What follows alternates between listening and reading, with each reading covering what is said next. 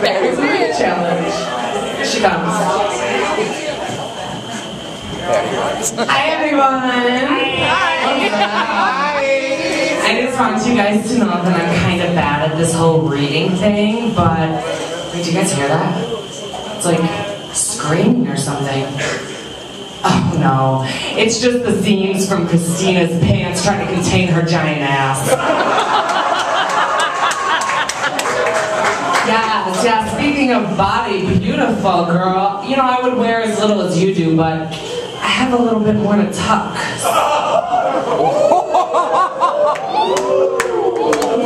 Oh, and you know I can't go away without Bradley. You know I love you, but can we talk about the hair? You look like an American Hugh Grant. The only thing you're missing is the prostitute blowing you in the alley.